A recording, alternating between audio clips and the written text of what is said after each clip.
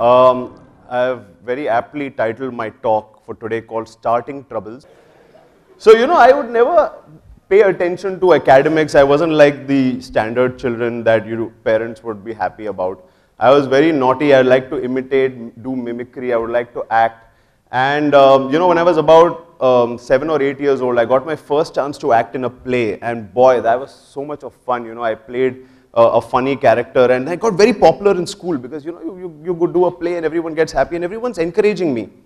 But when I started doing these plays a little more, um, I started seeing the true colors that people had. Like my friends would be very upset that I would bunk classes to go for rehearsals.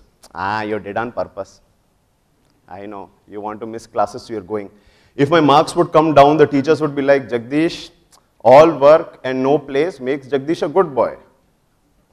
That doesn't sound right. You know, and so especially sometimes if I would fail in one of those small exams, you'll always have this one kid in your class whom you hate because they exist. I mean, they have not done anything bad, they're just faces like that. You just don't like them. Up north, it is Sharmaji ka ladka. Down south, they are called Manjunath. So one day, you know, I, I did very badly, and then these kids learn sarcasm so early. He comes and tells, uh, So, Jagdish, when is your next play? You're doing a lot of plays nowadays, no? It's very good, very good. And you know, my parents were like, See, we let you do plays, but your studies should not be affected. And I got so bogged down by it that I was like, okay, I won't do plays. One year, I said, I'm not doing any drama, I'm not doing any acting. But I wasn't myself. I was sad, I was irritable, I, was, I would see other people do plays and I would be like, nah, if I was there, I would have done it better. This is not the right way to do it. I, was, I was upset, wouldn't eat well, wouldn't sleep well. My marks deteriorated even worse. And I was like, you know, forget it. I'm going back to doing drama, I'm going back to doing plays. And as I kept doing that, and the moment I accepted myself, after a few years, people accepted me for who I was. I said, this is the guy who's an average student, but he's a good actor. And then school started accepting me for it and send me for competitions as an actor. I used to win prizes, I used to represent the school. And that was my first experience of the four stages that one goes through when you're trying to do something for the first time. The stage of excitement when everyone supports you, then the stage of criticism when everyone puts you down because they're not happy that you are happy, right?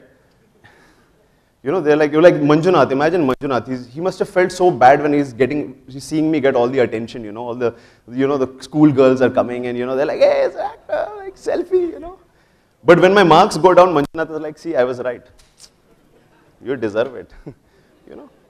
But then the stage of determination came where you hold on to who you are. And that is always followed by stage of acceptance, where then people just accept you for who you are, right? Uh, I was very bad at mathematics, so I became a doctor unlike you guys, probably very good with numbers. I can just count my patients, how many are alive.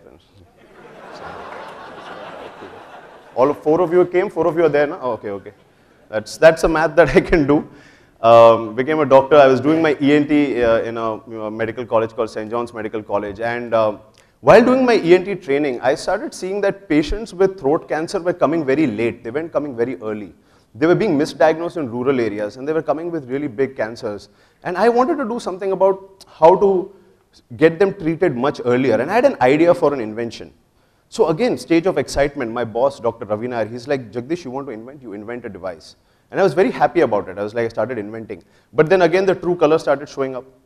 My colleagues who would do night duties because I would be missing doing product developments, they'd be like, Jagdish, Come on, man, you're a doctor. What is this engineering you're doing? Huh? Is this why you studied so many years and, you know, uh, sacrificed your life? You're a doctor, act like a doctor. Some people are like, Arey, nahi, yaar, he's just sucking up to the boss, he just wants to be in his good books. You know, that kind of thing. And some guys would tell me, Jagdish, you have spoiled someone's medical seat. If there was someone else instead of you, they would have done really well as a doctor. What are you doing? But I continued because I knew the phase. I continued to invent devices. I went on to develop 18 devices and about six devices in the market. Uh, more than 100,000 people have been benefited by it. And people started recognizing me and accepting me as an innovator. Thank you. So an average student actor became an actor doctor and then became an actor doctor innovator.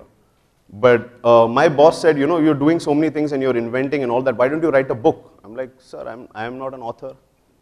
uh, how do I write books? He's like, no, write about it. You, you've got a lot of journey, you've failed a lot, and all those things will be useful.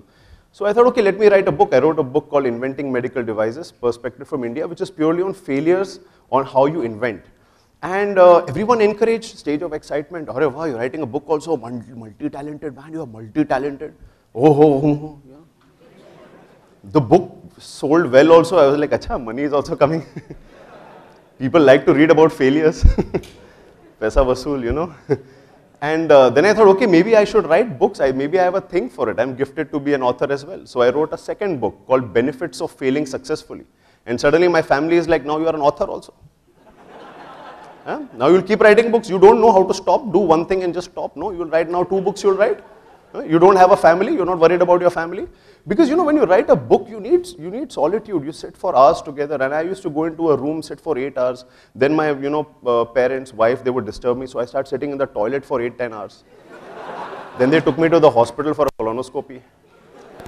It's like, what is he spending so much time there? I mean, I'm formulating my book and ideas, I'm typing, you know. And it takes two, three weeks to write a book and bring it out. And you know, it was very hard. But I continued to write a book and people started accepting me as a now a actor, doctor, innovator, and author. You Now to balance four things, uh, it was getting hard. Especially my acting was taking a big hit. Because if, all of, if any of you have been doing theater, you'll realize that if you want to do a play, the preparation that goes into it goes months before. You have to do rehearsals, you have to meet your team, you have to follow the director, and you know, in Bangalore and Bangalore traffic, that's not very easy to coordinate all the time, right? And you know, uh, and my team used to suffer, my co-actors used to suffer, and my acting used to suffer, and then my family was almost like, you know, they get divorce paper, I'm just about to sign it for you.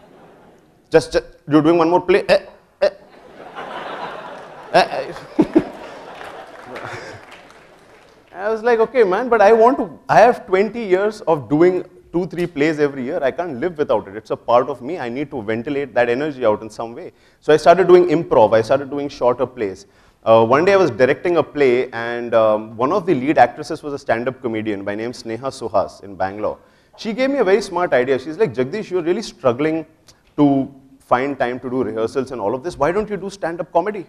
Because stand-up comedy is just you, you alone. You don't have to practice with anyone, no director, no nothing. You perform when you can, you don't perform when you don't want.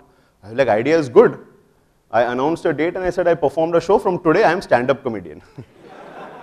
so when I became stand-up comedian, again, very excited. First show, a lot of people came. Are you very multi-talented man? Multi-talented. Yeah? What all you're doing and all.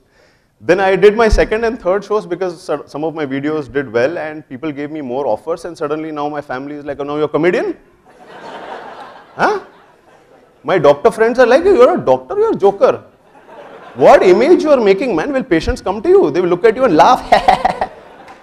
what are you doing? I was like, and uh, I was like, but I like doing this. It's good. It allows me to ventilate and all of that. But I continued uh, doing shows. I went on to do over 100 shows in the last one year. And, um, and today, the biggest shows that I get are from medical conferences, from doctors. Uh, I get a lot of patients from my audiences.